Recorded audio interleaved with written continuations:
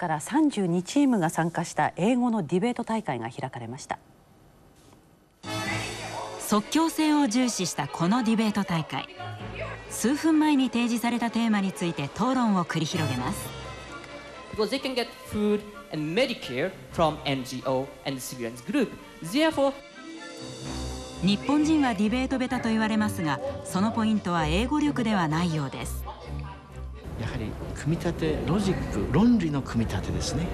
そもそもね日本語でやってもむそのやっぱり日本人が苦手な分野なのね。だから日本語でディベートをやるっていうようなことを少しやっていくと英語のディベートの内容も良くなってくる。The winner is International Christian University Team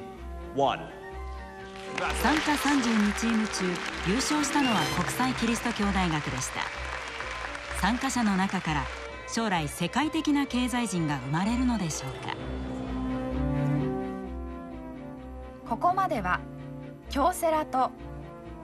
ご覧のスポンサーの提供でお送りしました。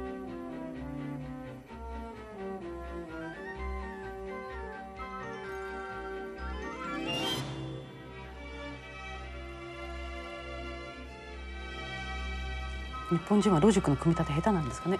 まあ、あの黒と思ってても白と言い募るのが、まあ、例えばディベートですからやっぱり論理っていうのはすごく大事。